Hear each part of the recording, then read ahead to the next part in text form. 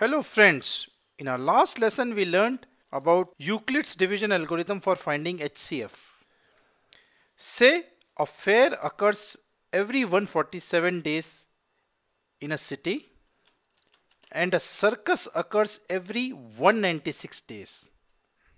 If both the fair and the circus are taking place today, after how many days both of them will happen together again? For this, we need to find the LCM of 196 and 147, right? That is, we need to find at which multiple of theirs they will meet again. We can easily find the HCF using Euclid's division algorithm.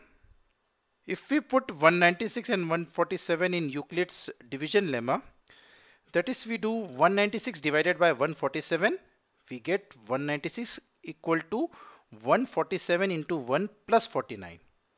Now we take 147 and 49 and we do 147 divided by 49 we get 147 equal to 49 into 3 plus 0 so remainder is 0 so we stop here. So 49 is the HCF of 196 and 147 but what about LCM remember for any positive integers a and b the product of their HCF and LCM is equal to the product of the two integers itself that is a into b so we know 49 is the HCF of integers 196 and 147. So using the above formula, we can find the LCM. So A is equal to 196, B is equal to 147. So HCF of 196 and 147 multiplied by LCM of 196 and 147 will be equal to 196 into 147. So we replace the value.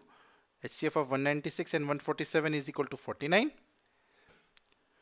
so 49 into LCM is equal to 196 into 147.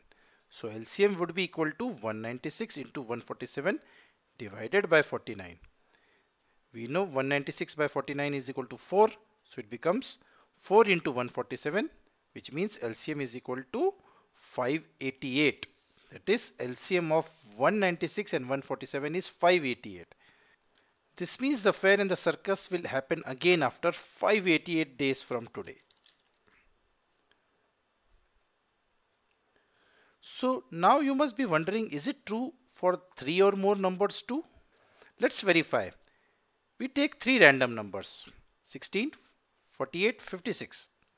Now we cannot use Euclid's division algorithm so we can rely on prime factorization for finding HCF.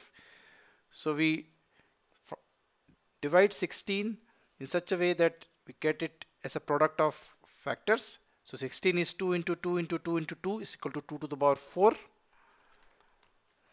48 can be represented as 2 into 2 into 2 into 3 that is 2 to the power 4 into 3 and 56 can be written as 2 into 2 into 2 into 7 which is 2, 2 to the power 3 into 7. So look prime factorization of every natural number is unique. We know that. In general, prime factorization of a composite number x gives p1 into p2 into p3 etc where p1 p2 are prime factors in ascending order means their values are increasing.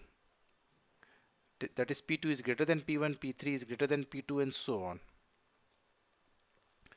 So now we are finding the HCF so we take the common prime factors which is common in all the numbers. So we get in case of 16 which is 2 to the power 4, 48 which is 2 to the power 4 into 3 and 56 which is 2 to the power 3 into 7.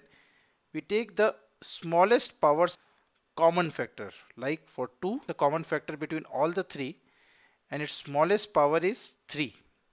So 2, 2 to the power 3 is there in all the 3 values.